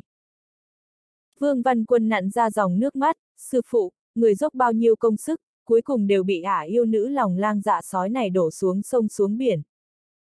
Hôm nay tôi sẽ dùng máu của cô ta để tưởng nhớ linh hồn thiêng liêng của sư phụ. giơ tay lấy ra một thanh kiếm chém vào đầu Diệp Tiêu Tiêu. Vào thời điểm ngàn cân treo sợi tóc đó. Âm, một tiếng thật lớn, làn sương mù lan ra khắp đại điện. Chờ đến lúc sương tan đi, thì Diệp Tiêu Tiêu đã sớm biến mất không thấy. Vương Văn Quân sợ run, sát ý lạnh lẽo xuất hiện, sư phụ đã bị ả yêu nữ này hại chết, thiên cơ các không thể một ngày vô chủ được. Từ giờ trở đi tôi sẽ nắm giữ vị trí các chủ thiên cơ các. Bất chấp tất cả mọi thứ cũng phải bắt ả yêu nữ kia về cho tôi, vậy mới làm yên lòng linh hồn của sư phụ trên trời. Chấm chấm chấm. Ma Uyên. Diệp Bắc Minh vừa mới tới thì cảm giác được một luồng ma khí thuần khiết chảy vào cơ thể mình. Lúc này, cơ thể anh như miếng bọt biển thiếu nước. Mà ma khí lại chính là nước. Diệp Bắc Minh kinh ngạc thốt lên, dòng ma khí này thật thuần khiết, từ sau khi mình rời khỏi tử vong cốc cũng chưa từng gặp được dòng ma khí nào thuần khiết đến thế. Tháp càn khôn chấn ngục nói, đương nhiên rồi, đây là ma giới mà. Ma khí thuần khiết như vậy mới coi là bình thường. Cái gì? Diệp Bắc Minh sửng sốt, nơi đây là ma giới ư. Tháp càn khôn chấn ngục trả lời chắc nịch, phải mà cũng không phải. Nghĩa là gì, đừng ra vẻ bí ẩn nữa. Ma Uyên chắc là một phần của ma giới, giống với đại lục thượng cổ đã từng là một phần của đại lục chân võ hiện đang lơ lửng trên bầu trời đại lục chân võ, tháp càn khôn chấn ngục giải thích. Bởi vì một nguyên nhân nào đó mà Ma Uyên tách khỏi ma giới. Diện tích cả Ma Uyên chắc còn chưa tới một phần chục nghìn ma giới. Diệp Bắc Minh tò mò hỏi, vậy sao ông biết? Tháp càn khôn chấn ngục bình thản trả lời, bởi vì ngay khi cậu tiến vào Ma Uyên, bản tháp đã xem xét sơ qua mọi chuyện ở Ma Uyên một lần. Hơn nữa còn biết cả vị trí của Tôn Thiến. Vãi trưởng. Diệp Bắc Minh kích động hét, biết người ta ở đâu sao không nói sớm, mau đi thôi. Chấm chấm chấm. Gầm gừ. Trong một góc sơn cốc, huyết lang đang đứng trước một bãi máu. Tôn vô cực dẫn theo một đám người đi tới đó. Huyết lang nhè răng nhếch miệng ngửi vết máu trên mặt đất. Một ông già ngồi xổm xuống, quẹt một ít máu trên tay rồi đưa lên người, sức chịu đựng của người phụ nữ này đã vượt qua tưởng tượng của chúng ta rồi, tận 6 tiếng đồng hồ rồi mà vẫn chưa gục ngã. 6 tiếng đồng hồ trước, huyết lang đã tìm thấy Tôn Thiến. Lúc ấy Tôn Thiến đang nghỉ ngơi, huyết lang đánh lén từ trong góc tối. Một cánh tay Tôn Thiến bị thương, trong thời khắc ngàn cân treo sợi tóc, đứa bé trong bụng bộc phát một luồng lực lượng hùng mạnh đánh lui huyết lang. Tôn Thiến bị thương buộc phải bỏ chạy. Tôn vô cực mỉm cười tàn nhẫn nói, đã bị huyết lang của tôi cào rồi, trong chốc lát miệng vết thương đó không thể nào khép lại đâu. Biết mèo bắt chuột thế nào không? Chúng ta cứ thế từ từ theo sau thôi. Đợi đến khi cô ta không còn sức chạy trốn nữa thì chúng ta sẽ xuất hiện cho cô ta cảm nhận được cái gì là tuyệt vọng. Cả bọn từ tốn đuổi theo sau. Bốn tiếng tiếp theo, bọn họ phát hiện Tôn Thiến ở một bãi nham thạch. Gương mặt xinh đẹp của cô ta trách bệch, đôi môi khô nứt. Tay cô ta nắm chặt một thanh trường kiếm đầy vết sức mẻ. Chạy đi, sao không chạy tiếp nữa? Tôn vô cực thong dong đi tới như đang tản bộ, chỉ là một người phụ nữ cảnh giới võ thần mà lại khiến tôi tốn nhiều thời gian đến vậy. Tôi rất hiếu kỳ cô giết con tôi thế nào đấy. Tôn Thiên cầm chặt trường kiếm, đôi mắt đỏ bừng, là con trai ông chán sống. Đã chết đến nơi rồi mà còn cứng mỏ à? Tôn vô cực cười khẩy. Ông ta đưa tay lên, một luồng chân nguyên hùng dũng kéo tới. Tiếng va chạm vang lên, trường kiếm trong tay Tôn Thiến bị luồng lực lượng ấy chém thành ba đoạn. Lưỡi kiếm lơ lửng giữa không trung, nhắm ngay vào yết hầu và trái tim của Tôn Thiến. Hu hu!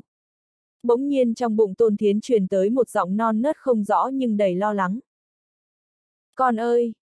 Tôn Thiến biến sắc, nhanh chóng trấn an bụng mình, đừng sợ, không có việc gì đâu.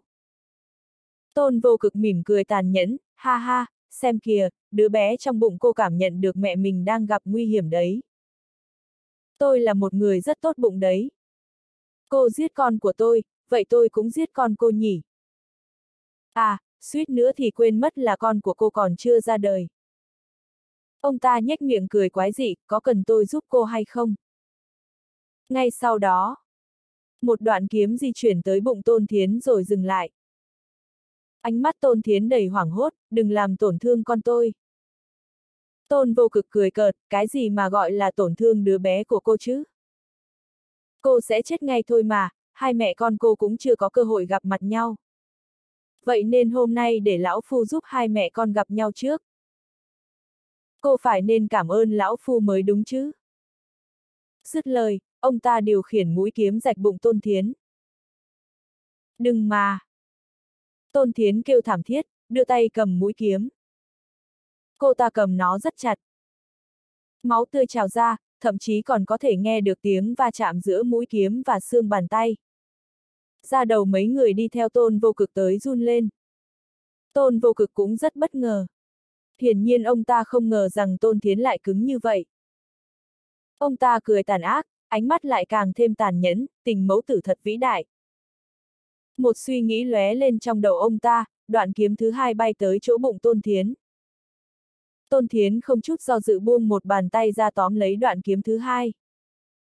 Canh két, tiếng xương cốt ma sát với lưỡi kiếm lại vang lên. Á, à, gương mặt Tôn Thiến trắng bệch không còn chút máu nhưng vẫn rất kiên cường. Mọi người không khỏi bồi hồi xúc động.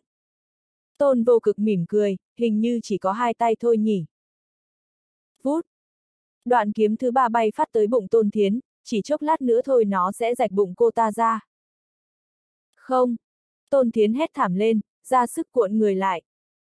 Tiếng máu thịt bị chém vang lên. Nháy mắt sau lưng cô ta đã xuất hiện một miệng vết thương hở sâu tới nổi thấy cả xương. Ánh mắt tôn vô cực vẫn rất lạnh, ông ta tiếp tục điều khiển lưỡi kiếm tấn công. Tôn Thiến liều mạng né tránh không cho bụng mình bị thương. Chỉ mới vài phút mà sau lưng, cánh tay, đùi thậm chí là cổ Tôn Thiến đều đã có những miệng vết thương trông rất đáng sợ chỉ mỗi mình bụng của cô ta không hề bị thương. Tôn vô cực cười cực kỳ biến thái, đây chính là tình mẫu tử thiêng liêng đây sao, thật vĩ đại đó. Tôn Thiến yếu ớt nói, chỉ cần tôi còn một hơi thì ông đừng mơ đụng tới con của tôi. Tôn vô cực cảm thấy rất nực cười, hôm nay lão phu phải cho cô biết cái gì là tuyệt vọng. Để coi thử ba đoạn kiếm này cùng lên liệu cô có cản được hay không đây. Ngay khi ông ta vừa dứt câu, Vút, vút, vút. Ba đoạn kiếm cùng nhắm vào bụng Tôn Thiên như thể phái mổ toang bụng cô ta ra. Tôn Thiến định né tránh nhưng cơ thể thế nào cũng không động đậy được. Cô ta cúi đầu nhìn thoáng qua bụng mình rồi bảo, con ơi, mẹ hết sức rồi. Mẹ xin lỗi con nhiều lắm. Cô ta nhắm mắt lại, khóe mắt trào ra hai hàng máu. Mãi một lúc lâu sau, Tôn Thiến vẫn không cảm thấy có gì. Lẽ nào mình đã chết rồi sao? Một dòng suy nghĩ chợt hiện lên trong đầu cô ta. Tôn vô cực quát, cậu là ai? Tôn Thiến chợt mở mắt ra nhìn xuống bụng mình theo bản năng làm mẹ. Ba đoạn kiếm kia như bị sức mạnh nào đó cản lại, chúng dừng trước bụng cô ta khoảng một tấc. Cô ta ngẩng đầu lên. Vừa vặn bắt gặp gương mặt mà mình nhung nhớ ngày đêm. Bắc Minh. Cơ thể Tôn Thiến run rẩy. Đôi mắt Diệp Bắc Minh đỏ bừng, cái mũi hơi cay, là anh tới muộn rồi, sau này anh sẽ không rời khỏi mẹ con em nửa bước.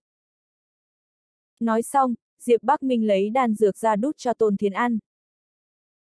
Quỷ môn thập tam châm bay ra đâm vào cơ thể Tôn Thiến, ổn định tình trạng cơ thể cô ta. Biến cố bất thình lình xảy ra khiến Tôn vô cực thẹn quá hóa giận, oát con, cậu là ai hả? Người lão phu muốn giết mà cậu cũng dám ra tay ngăn cản à?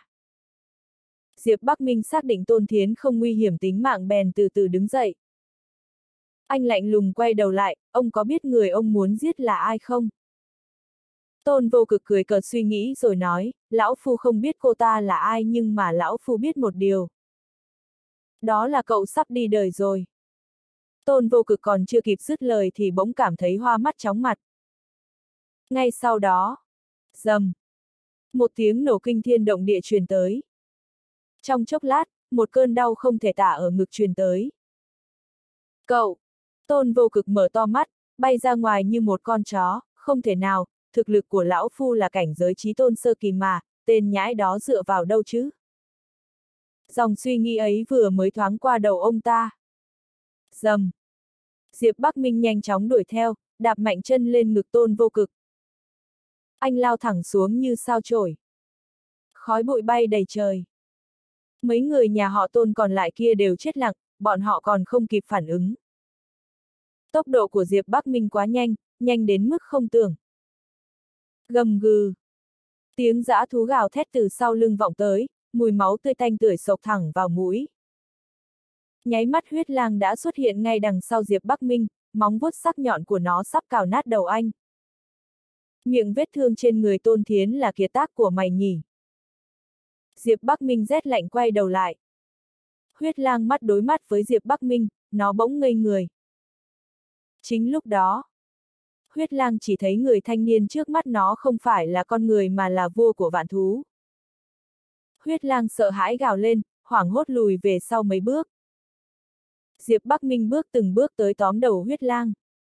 Xoẹt! Anh mạnh mẽ xé đầu của nó xuống. Mẹ ơi! Mười mấy tên nhà họ tôn khiếp sợ run rẩy, ra đầu run lên. Người đàn ông trước mắt họ chẳng khác nào ác ma bước ra từ địa ngục. Tôn vô cực bước tới, trên ngực ông ta xuất hiện một cái lỗ to tướng. Ông ta lấy ra hơn 10 viên đan dược ra nuốt một hơi vào, trên người bùng lên một ngọn lửa, đồ danh con, thế mà lại khiến lão phu bị thương nặng đến vậy, hơn nữa còn giết cả ma thú lão phu nuôi dưỡng. Cậu mau chết cho lão phu. Ông ta giống giận. Cả khu vực chấn động, lấy tôn vô cực làm trung tâm, mặt đất xuất hiện những vết nứt to tổ bố. Diệp Bắc Minh dậm chân thi triển ảnh thuấn. Thoáng chốc đã xuất hiện ngay trước mặt tôn vô cực, tung quyền đánh vào đan điền của ông ta. Mọi thứ diễn ra quá nhanh, tôn vô cực chẳng hề phản ứng kịp. Tiếng răng rắc giòn giã vang lên, đan điền của ông ta vỡ nát. Cậu! Trong ánh mắt tôn vô cực tràn đầy sự kinh hoàng, ông ta sợ rồi. Ông ta là trí tôn đấy. Tuy rằng mới chỉ là trí tôn sơ kỳ, hơn nữa còn nhờ dùng đan dược mới đột phá. Cho dù là thế ông ta cũng không thể nào bị một thanh niên mới thánh cảnh đánh một quyền vỡ đan điền như thế được. Điều này quá vô lý. Suy nghĩ ấy vừa mới thoáng hiện trong đầu thì bên tai tôn vỗ cực bỗng truyền tới ba tiếng xé gió bay tới. Ông ta bèn ngẩng đầu lên. Vậy mà đó lại là ba đoạn kiếm ông ta dùng để tra tấn tôn thiến. Cậu định làm gì? Tôn vô cực run rẩy hỏi, ông ta có một linh cảm không lành. Diệp Bắc Minh không trả lời ông ta. Anh chợt nghĩ gì đó. Vút, vút, vút. Ba đoạn kiếm lao tới như sao xẹt, chúng liên tục xuyên qua xuyên lại cơ thể tôn vô cực. Á! À, chỉ mới mười mấy giây, người tôn vô cực đã đầm đìa máu tươi.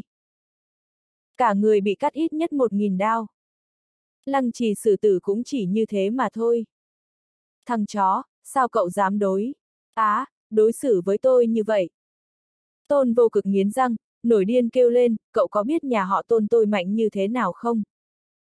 Cho dù tính cả đại lục thượng cổ thì tôn vô cực tôi cũng là người có máu mặt đấy. Cả đời cậu cũng không chọc nổi nhà họ tôn đâu.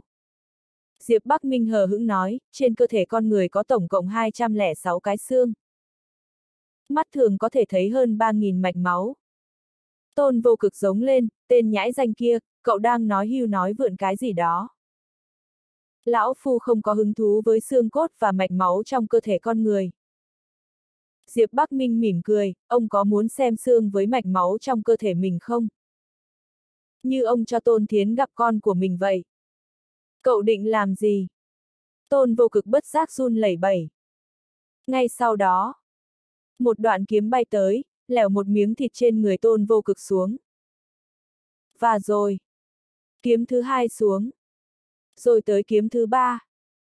Mỗi một kiếm chém xuống, trên người tôn vô cực lại bớt đi một miếng thịt. Cuối cùng, tôn vô cực chỉ còn một cái đầu với một bộ xương, còn có cả mạch máu và nội tạng vẫn hoàn chỉnh nguyên vẹn. Đó quả thật là một tác phẩm nghệ thuật tuyệt mỹ. Cậu ta, cậu ta đã tránh được hết tất cả cơ quan nội tạng và mạch máu. Ôi trời ơi! Mười mấy người nhà họ tôn mặt cắt không còn chút máu. Giết người chỉ đầu rơi xuống đất quá thảnh thơi, còn thủ đoạn như thiên đao vạn quả này quá đáng sợ. Mà điều càng đáng sợ hơn ấy là bởi vì anh không làm tổn thương nội tạng và mạch máu nên tôn vô cực vẫn còn sống nhăn răng. Á, á! Tôn vô cực hoảng sợ kêu lên thảm thiết, ông ta đã thấy được từng khúc xương và từng mạch máu của mình thật. Cậu, sốt cuộc cậu là ai hả? Không, cậu không phải người, cậu là ác quỷ. Phụt! Đoạn kiếm bay qua chém bay đầu tôn vô cực. Diệp Bắc Minh rời mắt qua mấy người nhà họ tôn còn sót lại. Bọn họ hoảng hốt bỏ chạy như gặp ma. Gầm gừ. Tiếng rồng ngâm lên, hơn 10 người nổ tung. Diệp Bắc Minh đi trở lại chỗ tôn thiến, vết thương của cô ta đã ổn hơn nhiều. Nhưng gương mặt xinh xắn ấy vẫn trắng bệch, cô ta mỉm cười nói, đưa em về nhà nhé. Mắt Diệp Bắc Minh đỏ ửng, anh yên lặng gật đầu. Anh ôm Tôn Thiên vào lòng. Bỗng nhiên, cả người Tôn Thiên run rẩy kịch liệt rồi ngất lịm. Cùng lúc đó, Diệp Bắc Minh cảm thấy sức sống của Tôn Thiến nhanh chóng biến mất. Sao lại như thế? Diệp Bắc Minh biến sắc, không thể nào, Tôn Thiến chỉ bị thương ngoài ra thôi mà. Cũng không bị ảnh hưởng đến gốc rễ, có quỷ môn thập tam châm và đan dược hỗ trợ chữa trị phải không nên có phản ứng như thế mới đúng chứ.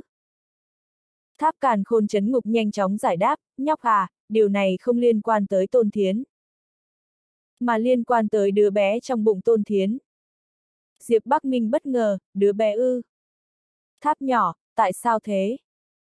Tháp càn khôn chấn ngục giải thích, cơ thể mẹ gặp nguy hiểm tính mạng, đứa bé còn chưa ra đời nên nó càng sợ hãi chết lưu trong bụng mẹ. Bây giờ nó chỉ có một lựa chọn, muốn sống thì phải hấp thụ sức sống của mẹ mình để bản thân toàn mạng. Nếu không tìm ra được cách nào khác thì Tôn Thiến sẽ bị con mình hút cạn sinh lực. Sắc mặt Diệp Bắc Minh trở nên vô cùng khó coi, hô hấp anh dồn dập, bây giờ nên làm gì đây? Tìm cái gì đó bổ khí huyết là được, cách tốt nhất là giết ma thú. Tháp nhỏ, mau tìm tất cả ma thú gần đây cho tôi. Diệp Bắc Minh quát lên. Ở cách đây 300 lý có hơn 10 con ma thú. Diệp Bắc Minh không hề trần trừ ôm Tôn Thiến lao ra ngoài. Anh vừa mới đi không lâu thì một đám người nhanh chóng chạy tới đây. Vị trí tín hiệu vô cực phát ra ở ngay đây. Mọi người liếc mắt nhìn cái xác huyết lang nằm trên mặt đất. Cầm đầu đoàn người là một ông già mặc áo bào màu vàng, ông lão kinh hãi nói, đây là huyết lang của vô cực, dựa vào miệng vết thương có thể đoán là bị người ta xé rách đầu. Mau đi tìm xem vô cực có ở gần đây hay không. Một lát sau, có người khiếp đảm hét lên, tìm được rồi. Nhưng mà... Mẹ ơi, không thể nào. Ông già mặc áo bào màu vàng vừa tiến lên, nhìn cảnh tượng trước mặt mà không khỏi sững sờ. Ở đó có một bộ xương người có đầy mạch máu và có cả cái đầu đang hoảng sợ của tôn vô cực. Cách đó 300 lý, hơn 10 con ma thú từ bốn phương tám hướng bao vây một đám người thu võ. Đoàn người tu võ này có khoảng 7-8 người, lưng họ tựa vào nhau. Bỗng nhiên, một con hổ hung tợn trong đó gào lên, ma thú tiến lên tách bọn người tu võ kia ra. Á! Từng tiếng kêu rên đau xót vang lên. Những người tu võ còn lại ra sức chém giết, bọn họ tụ tập lại một chỗ, giờ chỉ còn chưa tới 10 người. Ông nội, chúng ta phải bỏ mạng ở đây hay sao? Audio điện tử võ tấn bền. Hết tập 48